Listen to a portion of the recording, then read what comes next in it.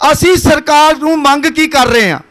ਸਰਕਾਰ ਸਾਡੀ ਜਿੱਥੇ ਵੀ ਆਉਂਦੀ ਹੈ, ਸੰਵਿਧਾਨ ਦੀ ਗੱਲ ਕਰਦੀ ਹੈ। ਡੈਮੋਕ੍ਰੇਸੀ ਦੀ ਗੱਲ ਕਰਦੀ ਹੈ, ਮੈਂ ਅਸੀਂ ਇੱਕੋ ਹੀ ਮੰਗ ਕਰ ਰਹੇ ਹਾਂ, ਭਈ ਤੁਸੀਂ ਸੰਵਿਧਾਨ ਦੀ ਵਿਆਖਿਆ ਕਰ ਦਿਓ। ਹੁਣੇ ਮੇਰੇ ਤੋਂ ਪਹਿਲੇ ਦੱਸ ਰਹੇ ਸੀ ਅਵਤਾਰ ਸਿੰਘ ਜੀ ਕਿ ਬਲਕਿਸ ਬਾਨੋ, ਉਹ ਜਰਾ ਜ਼ੁਲਮ ਦੀ ਇੰਤਹਾ ਹੋ ਗਈ।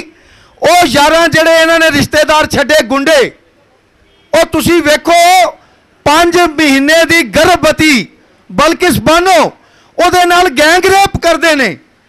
ਕਮਾਲ ਦੀ ਗੱਲ ਹੈ, ਇਹ ਸਾਡਾ ਦੇਸ਼ ਹੈ, ਭਾਰਤ ਦੇਸ਼ ਹੈ। ਉਹ ਗੈਂਗ ਰੇਪ ਕਰਦੇ ਨੇ, ਉਹਦੀ 3 ਸਾਲ ਦੀ ਬੱਚੀ ਨੂੰ ਦੀਵਾਰਾਂ ਤੇ ਪਟਕ ਪਟਕ ਕੇ ਮਾਰ ਦਿੱਤਾ ਜਾਂਦਾ ਹੈ। ਹਾਂਜੀ ਔਰ ਉਹਦੇ ਪਰਿਵਾਰ ਦੇ 6 ਜੀ ਮਾਰ ਦਿੱਤੇ ਜਾਂਦੇ ਨੇ, ਔਰ 13 ਲੋਕ ਮਾਰ ਦਿੱਤੇ ਜਾਂਦੇ ਨੇ।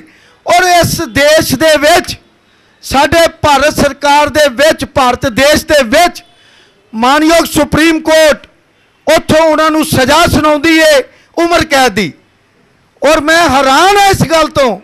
ਦੇਸ਼ ਤੋਂ ਪ੍ਰਧਾਨ ਮੰਤਰੀ ਲਾਲ ਕਿਲੇ 'ਚ 15 ਅਗਸਤ ਨੂੰ ਅਸੀਂ ਇੱਥੇ ਬੈਠੇ ਸੀ। ਦੇਸ਼ ਦਾ ਪ੍ਰਧਾਨ ਮੰਤਰੀ ਔਰਤ ਦੇ ਸਤਕਾਰ ਮਾਨ ਸਤਕਾਰ ਦੀ ਗੱਲ ਕਰ ਰਿਹਾ ਹੋਵੇ ਲਾਲ ਕਿਲੇ ਤੋਂ।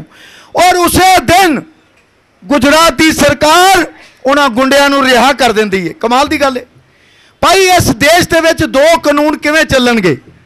ਉਹਨਾਂ ਨੂੰ ਰਿਹਾ ਕਰ ਦਿਓ ਭਈ ਆ ਜਿਹੜੇ ਬੈਠੇ ਨੇ 32 32 ਸਾਲ 27 ਸਾਲ 30 ਸਾਲ ਜਿਨ੍ਹਾਂ ਦੀਆਂ ਜੇਲ੍ਹਾਂ ਦੇ ਵਿੱਚ ਕੱਟ ਗਏ, ਇਹਨਾਂ ਨੂੰ ਕਿਉਂ ਨਹੀਂ ਰਿਹਾ ਕੀਤਾ ਜਾ ਰਿਹਾ? ਔਰ ਸਭ ਤੋਂ ਵੱਡੀ ਗੱਲ ਇਹ ਆ, ਅਸੀਂ ਤੁਸੀਂ ਰਿਹਾ ਕਰੋ ਚਾਹੇ ਨਾ ਕਰੋ, ਅਸੀਂ ਤੇ ਅਰਦਾਸ ਕਰਦੇ ਆ ਗੁਰੂ ਗ੍ਰੰਥ ਸਾਹਿਬ ਦੇ ਅੱਗੇ। ਅਸੀਂ ਜਿਹੜੀ ਬੇਨਤੀ ਪ੍ਰਧਾਨ ਮੰਤਰੀ ਨੂੰ ਕਰਦੇ, ਅਸੀਂ ਕਰਦੇ ਰਵਾਂਗੇ।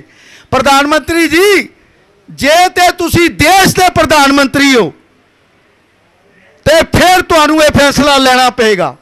ਜੇ ਦੇਸ਼ ਦਾ ਪ੍ਰਧਾਨ ਮੰਤਰੀ ਕਿਸੇ ਮਨੁਵਾਦੀ ਸੋਚ ਦੀ ਮਾਨਸਿਕਤਾ ਦਾ ਸ਼ਿਕਾਰ ਹੋ ਚੁੱਕਿਆ ਹੈ, ਫਿਰ ਅਸੀਂ ਤੁਹਾਡੇ ਤੋਂ ਕੀ ਉਮੀਦ ਕਰਦੇ ਹਾਂ? ਅਸੀਂ ਸਿਰਫ ਇੱਕੋ ਹੀ ਗੱਲ ਕਹਿਣਾ ਚਾਹੁੰਦੇ ਹਾਂ ਬਾਰ-ਬਾਰ ਕਿ ਭਾਈ ਜਿਨ੍ਹਾਂ ਦੀਆਂ ਸਜ਼ਾਵਾਂ ਪੂਰੀਆਂ ਹੋ ਗਈਆਂ ਨੇ, ਇਹਨਾਂ ਨੂੰ ਰਿਹਾ ਕੀਤਾ ਜਾਵੇ। ਅਸੀਂ ਸਿਰਫ ਇਹੀਓ ਗੱਲ ਕਹਿ ਰਹੇ ਹਾਂ ਬਾਰ-ਬਾਰ ਕਿ ਭਾਈ ਸੰਵਿਧਾਨ ਦੀ ਵਿਆਖਿਆ ਕਰ ਦਿਓ। ਅਸੀਂ ਸੰਵਿਧਾਨ ਜਿਹੜਾ ਬਾਲਾ ਸਾਹਿਬ ਭੀਮਰਾਵ ਅੰਬੇਡਕਰ ਜੀ ਦਾ ਸੰਵਿਧਾਨ ਜੋ ਬੋਲ ਰਿਹਾ ਉਹਦੀ ਵਿਆਖਿਆ ਕਰ ਦਿਓ। ਅਸੀਂ ਕੀ ਮੰਗ ਕਰ ਰਹੇ ਹਾਂ? ਇਹੀਓ ਮੰਗ ਕਰ ਰਹੇ ਹਾਂ।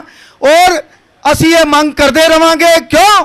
ਕਿ ਉਹ ਦੇਸ਼ ਦੇ ਪ੍ਰਧਾਨ ਮੰਤਰੀ ਨੇ, ਦੇਸ਼ ਦੇ ਪ੍ਰਧਾਨ ਮੰਤਰੀ ਕੋਲੋਂ ਇਹ ਮੰਗ ਸਾਡੀ ਜਾਰੀ ਰਹੇਗੀ। ਭਾਵੇਂ ਅਸੀਂ ਅੱਜ ਇੱਥੋਂ ਇਹ ਮੋਰਚਾ ਜਿਹੜਾ ਹੈ, ਉਹ ਖਤਮ ਕਰਨ ਜਾ ਰਹੇ ਹਾਂ, ਪਰ ਲੇਕਿਨ ਇਹ ਮੰਗ ਸਾਡੀ ਜਿਹੜੀ ਆ, ਇਹ ਜਾਰੀ ਰਹੇਗੀ।